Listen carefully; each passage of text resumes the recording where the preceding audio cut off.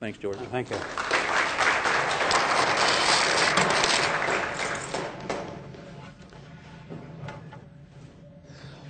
I want to thank the faculty of uh, Sam Houston State University College of Criminal Justice for inviting me here. Uh, there are more seats down here for those of you that are. Uh, please feel free. There are seats over here as, here as well. Um, please be comfortable. It is always a, a, compliment to be introduced by somebody that you taught at one time. Um, inevitably, when you pass a, particular threshold, that introduction includes some reference to age. And um, I will just add to it a little bit. one of the things that happens as you teach uh, is that every year the students look younger and younger and younger. Uh, everyone understands that. Then later on, when you have parents' days and things like that, all of a sudden the parents of the students are looking younger and younger and younger, and then you start thinking about spending more time with your grandchildren, which is something that I spend considerable time thinking about. I want to talk to you today about the business of policing and changes that are taking place in the business of policing. I'm using the word business uh, quite advisedly here because the model that I'm going to use to talk about policing essentially is a private corporate model that uh, I have adapted for uses to think about policing. Um, the, article, uh, it, uh, the article that first used this model was published in the Harvard NIJ uh, Perspective Series and is referred to as the Evolving Strategies of Policing. I, I wrote that article during the summer of 1985. Um, I, uh, I, wrote it in many respects like an anthropologist would, uh, would write and, and that is struck by what was happening in the field, I not only was, was interested in what was happening now, but I was interested in what happened in the past that got us to our present situation, and what in, in, in the past is driving the present set of changes that are going on in policing. And those uh, ruminations led me not only then to think about the past and the present, but the future as well. So the model uses is a particular analytic device for looking at the history of policing, for looking at policing at the present time, and for looking at the changes that are going on in policing.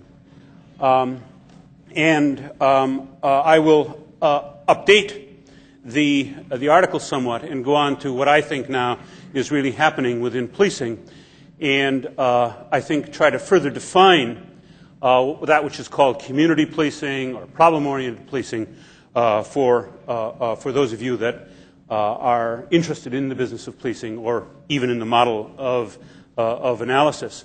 So subsequently, I've done increasing amounts of historical research to make sure that I was right in terms of these speculations. Fortunately, I think I was. I, I think my, my historical research has has uh, proved that um, um, I was correct in some of my uh, analyses, but that will only be told over the next 15 to 20 years. Um, but let me then begin by, by presenting basically what the model is. And that is, it's possible to look at any organization using various elements and identify a strategy. The first element in the public sector is authority in the private sector, you would refer to this as capital. The second category is the function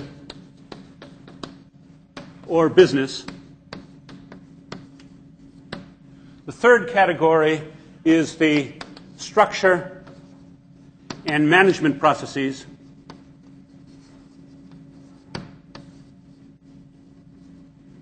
You'll forgive my handwriting. Uh, this is structure and management processes. The third, uh, the next category is demand. The next is the relationship to the environment.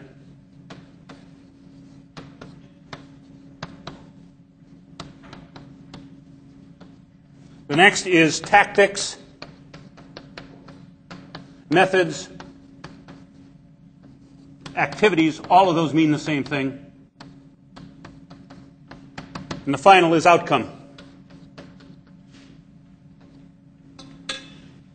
Regardless of the organization, whether it's a business whether it's a, um, uh, whether it's a, a, school system, it's possible to uh, analyze that organization or institution uh, using these categories.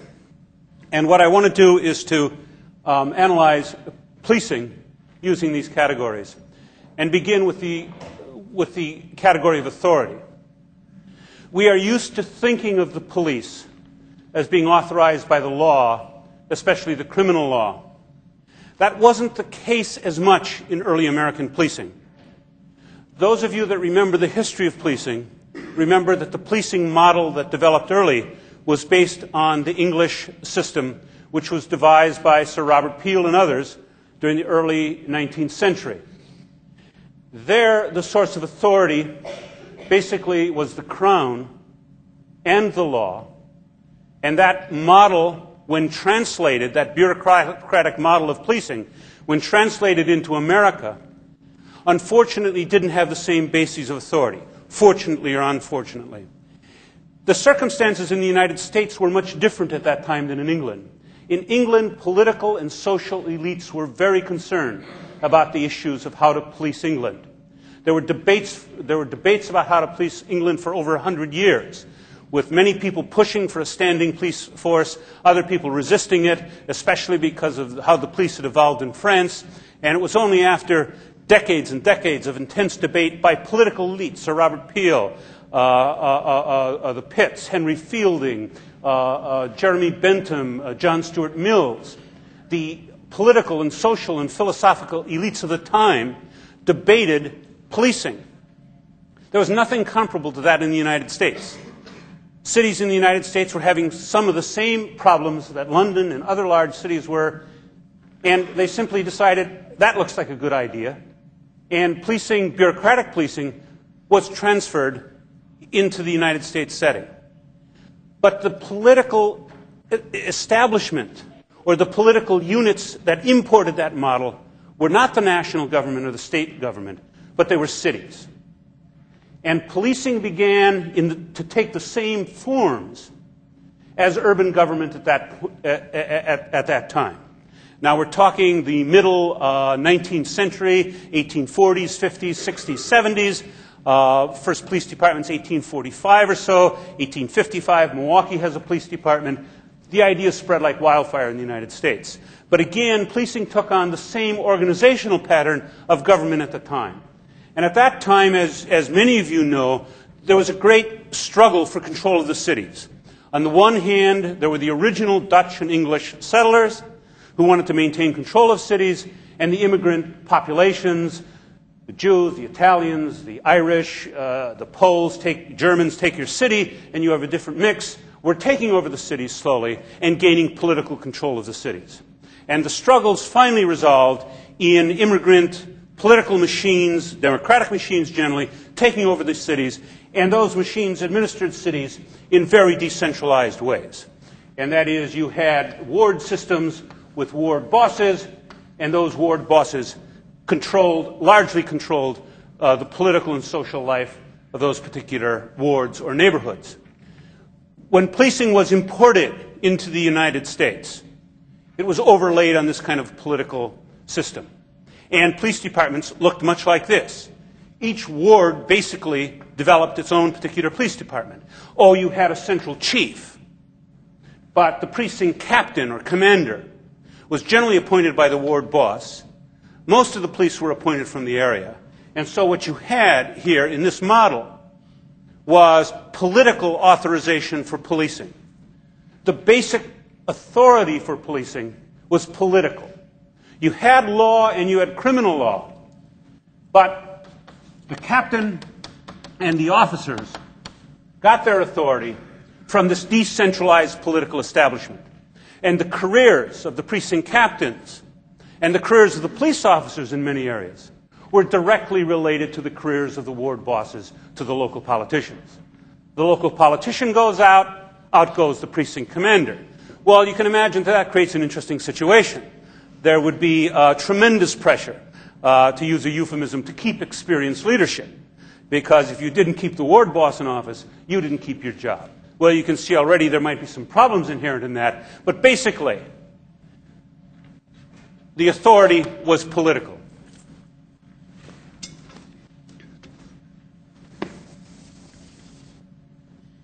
In, in, terms of the function, the business, the business was the provision of services. And every bit of his, the more we read history, the more historians begin to analyze policing of this era, we discover that yes, they were involved in law enforcement. But in addition, their primary role was defined as crime prevention, and that's similar to law enforcement, but not the same. But also, they provided a broad array of services. And some of them were quite trivial and, and have been trivialized, and that is um, um, um, knocking at doors to wake people up. Um, uh, but more importantly, they provided lodging and police stations that were built especially to have lodging places for immigrant workers coming into town. They devised the first um, um, bread lines and soup lines. They provided basic city services, and so they were a broad service agency.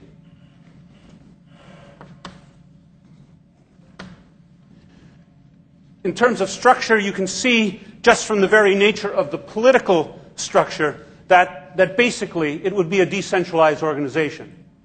Chiefs, in comparison to precinct commanders, were relatively powerless.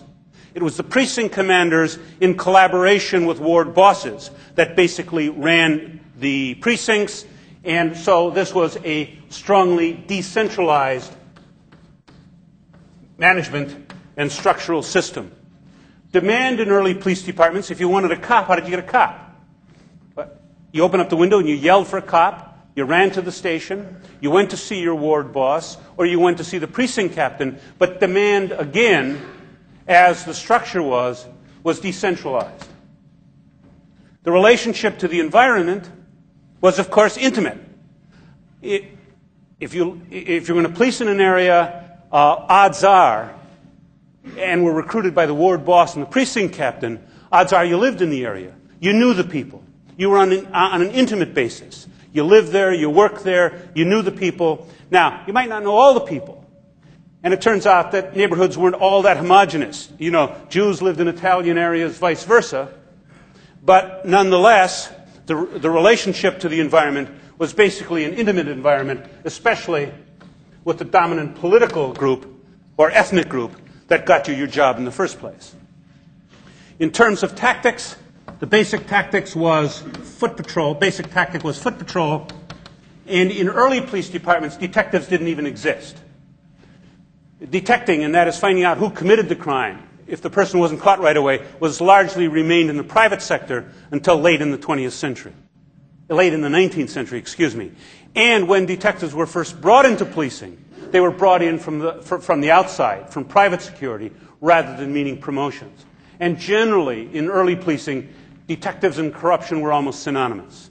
That is, any time you had a corruption scandal, we still see much of this today, although it's changing. G- generally, it was, it, it was the, the, the, detective units that brought corruption in. And then finally, in terms, and, and, and so foot patrol with the idea of preventing crime and providing services was the, was the, uh, uh, was the basic tactic. And in terms of outcome, it would be political and citizen satisfaction.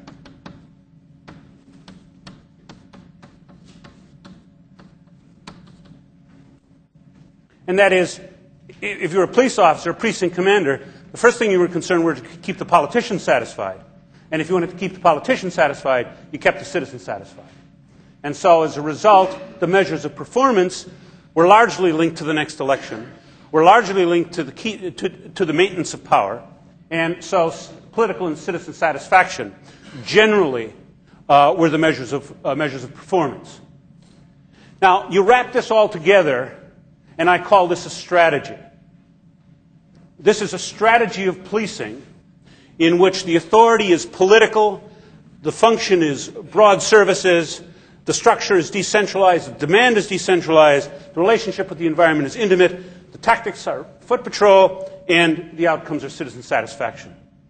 Now, one can argue, if one reads history carefully, one can argue that this, that this model, this paradigm, this strategy, use your word, uh, had its successes. Order was maintained, services were provided, order would break down at times.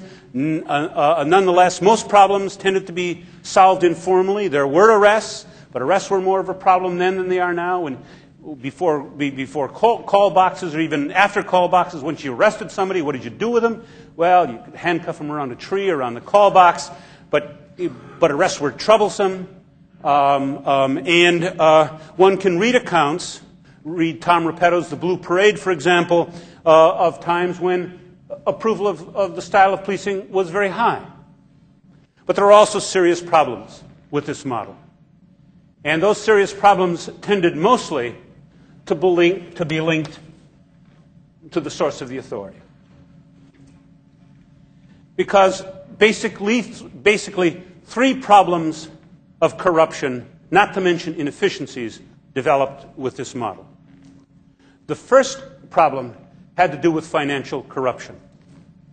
And while not akin to the corruption that occurred after Prohibition, which was systematic and uh, pervasive in police departments across the United States, there was a lot of mom and, uh, mom and pop style corruption. And, and that is um, enforcing many of the laws that were foisted on cities by the Dutch and the English who didn't like my, my name is really Kuelling, K-U-E-L-L-I-N-G, German, who didn't like my grandfather's uh, beer gardens to be open on Sunday. Uh, I can still recall them slightly, where the food was free and the beer was a nickel, and uh, the entire family went. Uh, the Dutch and the English didn't think that was such a great idea and passed laws, Sunday blue laws, other kinds of vice laws that were, that were very unpopular in the immigrant communities who were trying to set up a particular lifestyle that was consistent with how they lived their lives in the past. Well, it didn't take much to discourage police officers from not, from not enforcing those laws. And it wasn't, it wasn't a, a, a, a steep, you didn't need a steep slope for them to start to get some money for doing that. So there were problems of some financial corruption.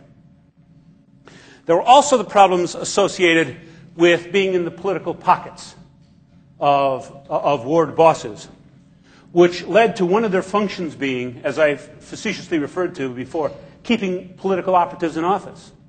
And there were a wide variety of ways that the police could, uh, could do that stuffing ballot boxes, um, um, having dead people vote, um, keeping some people from voting. We still see some of these things today. Uh, we view them as relatively uncivilized where they occur, but um, um, uh, uh uh, the uh, 19th century American cities were a good model for many emerging countries at the present time about ways not to handle elections. But, anyways, the police became seriously involved in political corruption, and that is keeping particular people in office.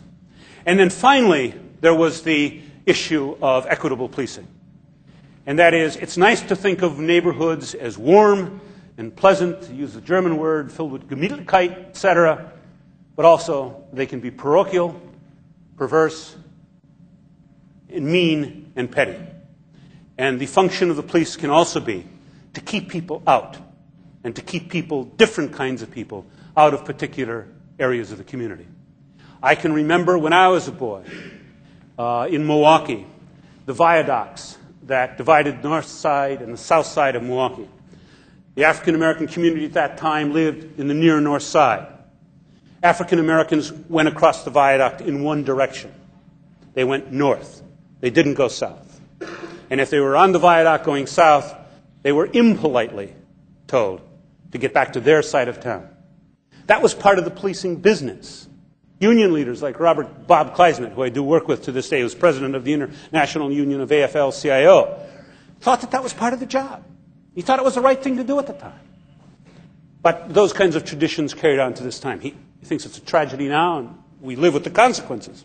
But nonetheless, that kind of policing also led to the problem of serious abuse and discrimination uh, in the name of neighborhood integrity, uh, ethnic unity, etc.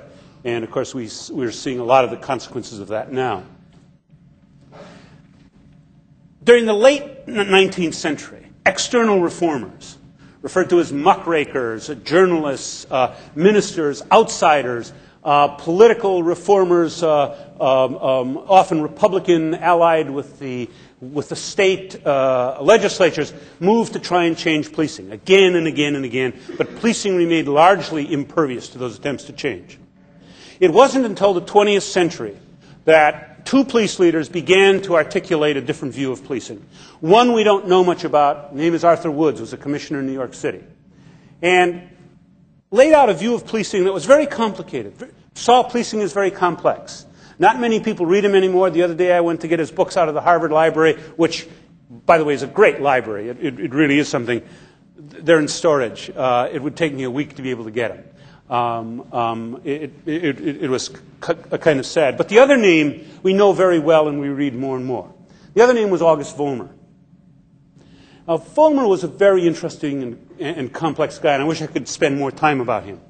He is generally seen as the father of the model of policing that dominated until, the, until at least the late 1970s. I think that's a mistake. I don't think he was. I don't think that that does him justice. It doesn't do justice to what he did as a police leader in Berkeley, California. Because what he, did, what he did at that time was remarkable. But I, I can't go into that now. Uh, um, um, um, Vollmer starts out going in one direction, and unfortunately, his students led him in another direction, and, and I'll talk to you a little bit about that.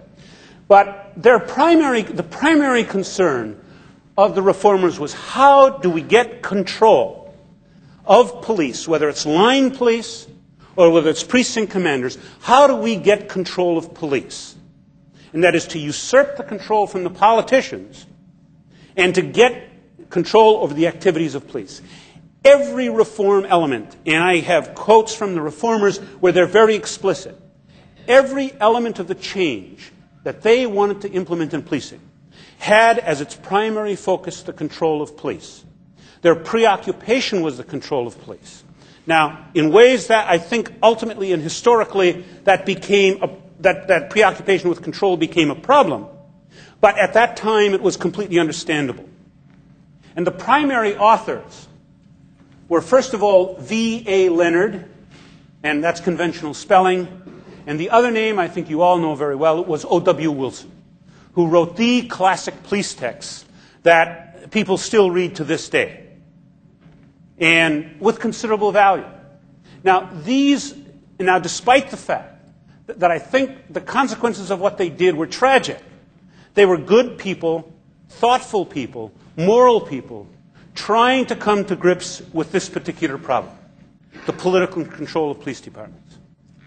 But to get to the bottom line, their preoccupation with control ultimately led to some of the serious problems that we have with police at the present time. So, uh, so hear me right, because I'm, in, in many respects, I'm not very kind in my writings to, their, to the work that they did. I think that they were wrong. They might have been right for a time, but the model, especially the administrative model that they set up, which, which was preoccupied with control of the line officers, ultimately created serious problems of policing, and I think have led to it to be a grumpy occupation at the present time. And if there's one thing that characterizes American policing at the present time, especially line police, they tend to be extraordinarily grumpy. They don't go into policing grumps, but by the time they're just about out of the academy, they become pretty grumpy. And after maybe being on the street five or six years, they start to change and become less grumpy. But policing tends to be a grumpy, bitching lot. That's too bad. Uh, but I, and I think there are ways to deal with that. So, but the shift here, the first shift that they successfully made, was that they moved from political control to law, and ultimately with the courts to constitutional authority. They needed the courts, and we can go back to 60s decisions with this. They needed the courts primarily to get control of the detectives and that was with the exclusionary rule, because we can go back as, as, as recently as the 1930s, 40s, and 50s, and police in the United States were still using torture. Torture somewhat akin to the torture that is being alleged used to this youth in Singapore to get the confession. Um, uh, cold rooms, bright lights, uh, third degree, those kinds of issues. But finally, with the support of the court, which created, uh, uh, uh with Miranda, with some other decisions, but that the primary source of authority was going to be the criminal law. Why do police what they do what they do? Because it's the law. That's the justification. And on top of that, they were going to add professionalism. But professionalism meant something very, very distinct for the reformers, and it is not professionalism as we think of the professoriate or as we think of the of physicians or lawyers. It's a very unique bureaucratic kind of professionalism that really is not the classic term of professionalism. The second, the second element, the function, they were to be law enforcers.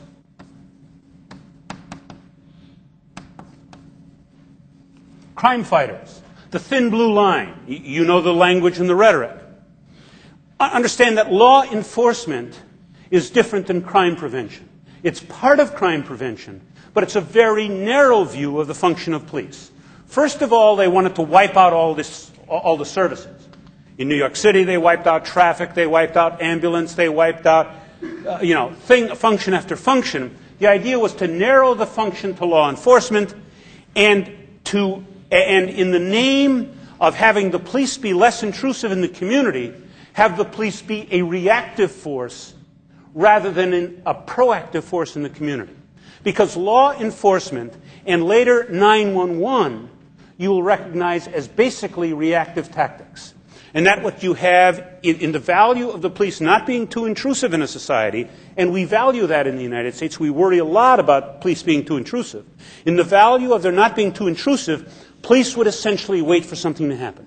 They'd, wa- they'd ride in their cars, and if there was a report of a crime, or any other kind of call for service, they'd respond to that and investigate reactively. Police departments in the United States shifted, and this is the key. They shifted from policing, which is broad, to law enforcement, which is narrow. And law enforcement, as you know, the model of crime control in that is a model that you study in criminal justice. And that is you arrest and process for the purpose of incapacitation, uh, primary and secondary deterrence, and depending upon your belief systems, re, uh, rehabilitation.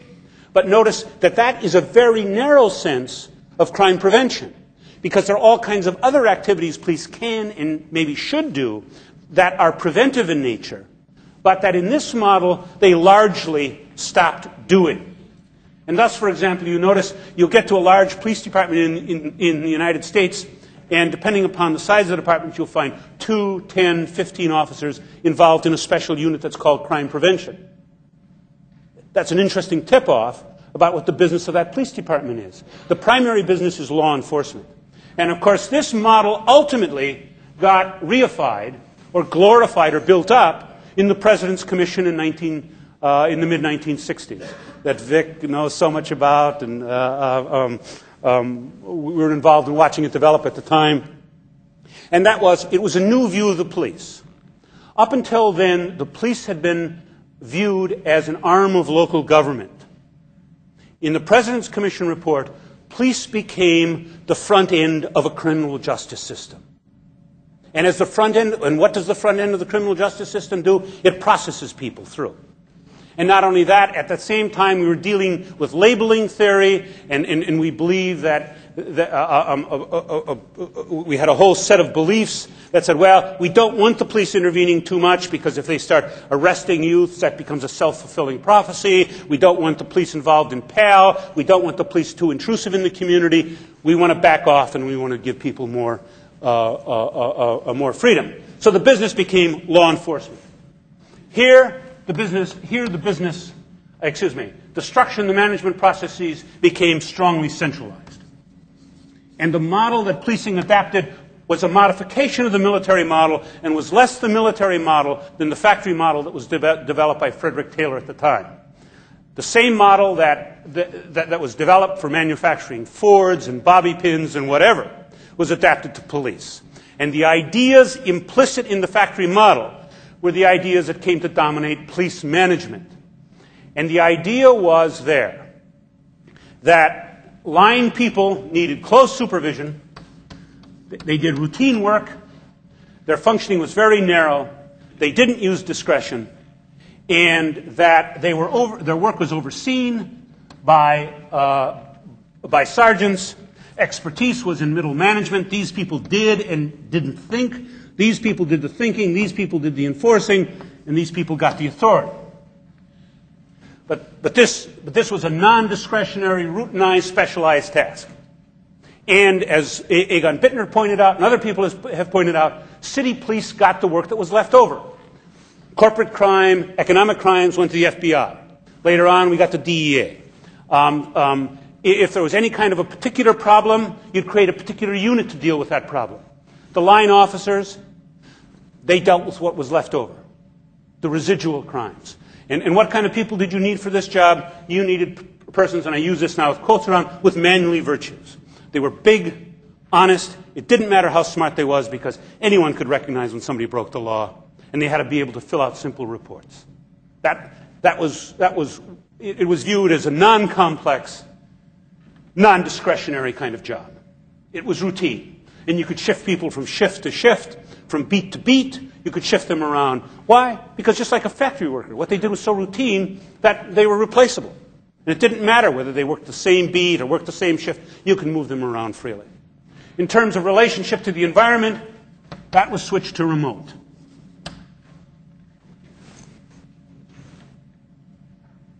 the best metaphor, the best analogy is uh, some of you that seen the old, uh, some of you in this room remember seeing it the first time around, but uh, some of you have seen the reruns of Sergeant Friday, um, uh, Jack Webb. And that is uh, a woman has been assaulted and beaten up, and she calls the police, and Sergeant Friday and his cohort knock on the door. The woman opens the door, and she's upset, she's hysterical, she's been badly beaten up by someone that she knows, and Sergeant Friday's response is typical of the model. Just the facts, ma'am. Just the facts. Why? What's the business of the police? The business of the cr- police is to solve the crime. Somebody else can tend, tend, to the woman as a human being. Somebody else can deal with the guilt and the rage and the, the other problems. The police job is very narrow. It's to solve the crime. The remote professionalism that you now see in police officers, that's so troublesome is really very much inculcated in a model of staying remote from the community. Why? We don't want the community to influence people. Why? If the community influences them, they're going to be badly influenced and are going to become corrupt. This is the issue around control that deliberately removed police officers from close working relationships within the community. We never thought through, or it was never thought through, what the consequences of that would be the amount of fear that any citizen develops in any neighborhood if that person doesn't know the people. And the extreme fear that a white officer would develop working in a black community. And so what we had is not only officers, what developed, and I'm getting a little ahead of myself, was not only officers that were quote, quote, professionally remote, but officers that were scared to death. And you ride with officers, and I don't, you take the city, the last the last example I have of this, I'm riding with an officer in the evening in Indianapolis. White officer. Been on the force for two years. We go, we go by a public housing development that's 95, 96, 100% African American. The officer ride, rides by that neighborhood and says to me, every, every person that lives in that development hates us. Hates us. And he believes that. He has no contact with those citizens. I met the night before with citizens from that development. I met with them in a church outside of the development because they were afraid to have me come in because I looked too much like an old cop, at least. And, and, and, the drug dealers that were operating in that area would probably, they were fearful that, they, that the drug dealers would retaliate against them. And, and, and, those, and those citizens were saying, please get the cops in here. Please get them in here and have them stay. Meantime, we have police riding around there saying, everyone in there hates us. That was one of the consequences of the remote relationship. And tactics became basically reactive tactics. That is, you, riding around in a car becomes an end in itself. And think of the phrase, and I know you've probably seen this already, in service and out of service. When is a police car in service? A police car is in service when the officer is riding in the car doing nothing else. Police car is out of service when the police car is stopped and the officer is dealing with citizens. And what's the organizational pressure? Get back in service. So the premium, the work, is riding in cars. That the organizational pressure is to get back in the car and ride. And whether one looks at special units, detectives, or 911, basically all the tactics, all the tactics are reactive. Finally, the outcome here arrests, rapid response, and crime rates. Now, because I'm rushing through this, I mentioned some of the downsides of some of these, of, of some of this strategy. And again, we have a strategy here. What's the authority? Is law, constitution, professionalism. Function is law enforcement. The structure is strongly centralized, little discretion here. Relationship to the environment is remote, etc. Now, a couple of problems. First of all, I mentioned one. The remoteness is a problem in itself. We started to learn that during the 1960s. And during the 1960s, the complaint primarily came from the African American community. And the response was community relations. We believed that rapid response and preventive patrol were so important that what we'd have to do is to continue to do that, but we'd have to develop community relations, especially in minority communities, to convince people that we had to keep doing that which the citizens didn't like us doing in the first place. That was, that was the origin of community relations. The other problem was this didn't describe the work of police. What we started to learn with the report of the American Bar Association during the 1950s was that police work was infinitely complex. And that despite the fact that the rhetoric was there's no discretion, that discretion was of the essence of the work. Now, that's a complicated story. That's all I can say about it. We also discovered that the managerial model didn't work. And that is, police don't work under supervision. They make most of their critical decisions when they're alone. And those critical decisions are of enormous consequence. The only group that we give, the only license to kill that we give is to police officers. And under certain circumstances, it's almost a mandate to kill. And they do it when they're alone or with a partner the idea of oversight. And, and what we discover is all of these rules and regulations, you start going through rules and regulations in the police department, and it's an eye opener. The rules and regulations virtually have nothing to do with the work of police.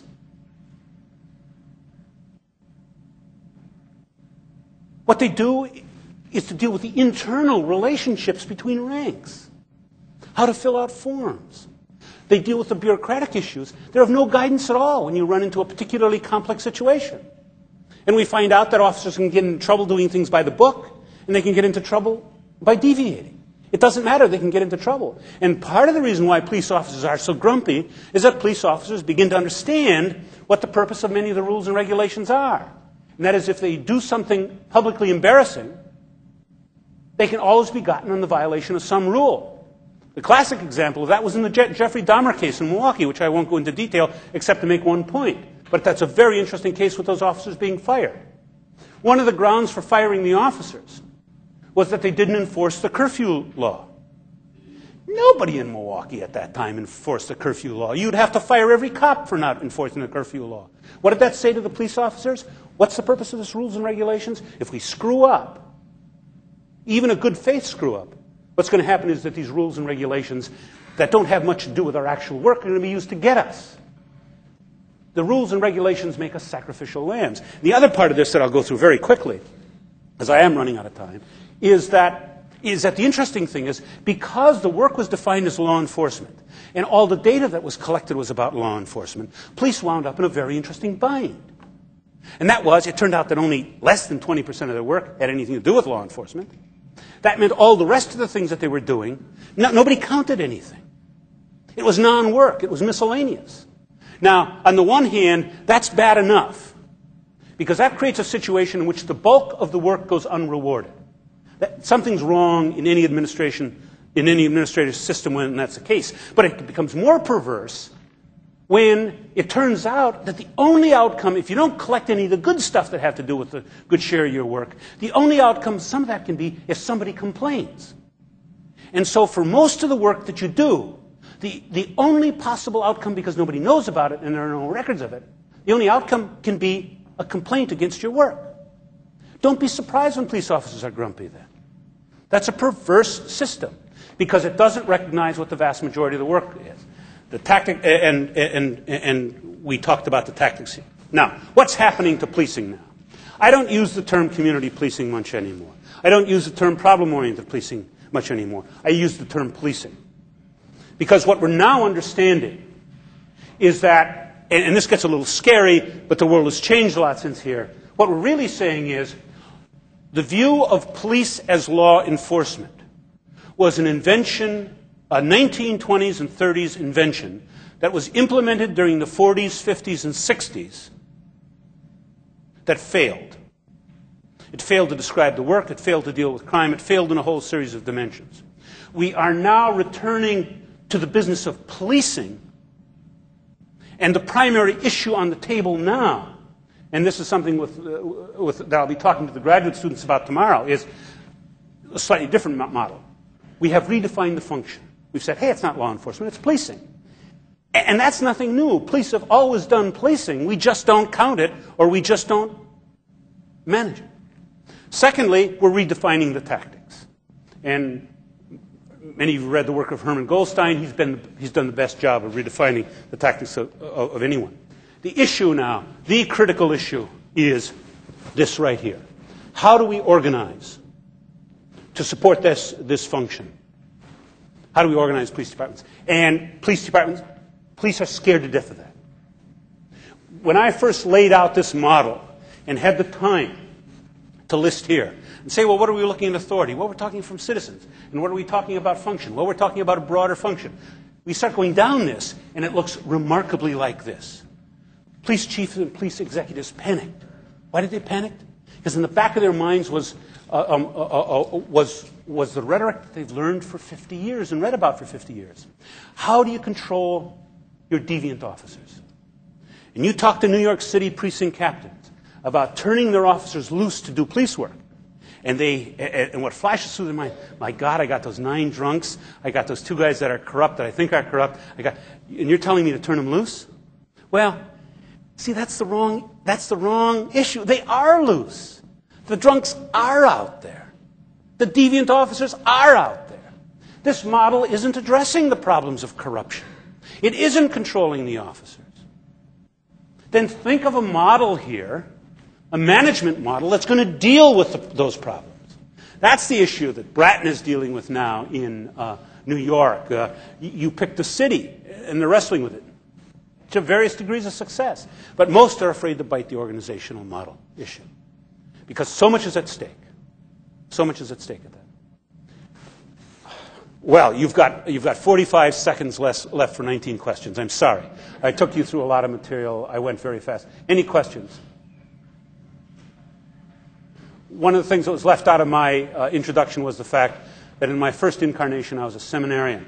I did two things while I learned two things. One, how to twist the text to meet the message. I might be guilty of some of that in this. The second was to learn how to preach, and you heard me preach here because I think this is the evolution of policing. Thank you for your attention.